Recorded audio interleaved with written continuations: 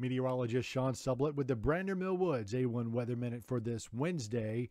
Still a touch humid outside first thing this morning, but our temperatures down a notch from the last few mornings, generally in the middle and upper 60s. And any kind of humidity or that kind of muggy feel first thing this morning will be falling as the day goes on. A little bit of lingering morning clouds, but then that's it. Overall, we're looking at a sunny day, temperatures in the low and mid 80s by midday, upper 80s to almost 90 for the afternoon. So it's still going to be quite warm, just the humidity is going to drop dramatically as the day wears on, which will set us up for a very pleasant Wednesday evening.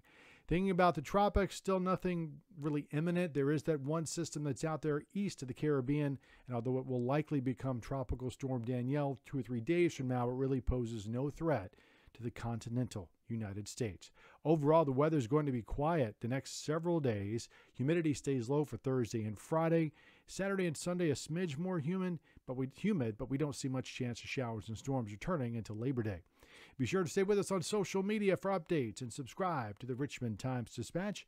And as always, you can stream our videos for free using the Virginia Video Network app. Get it on the App Store and Google Play or on your big screen through Roku, Apple TV, and Amazon Fire.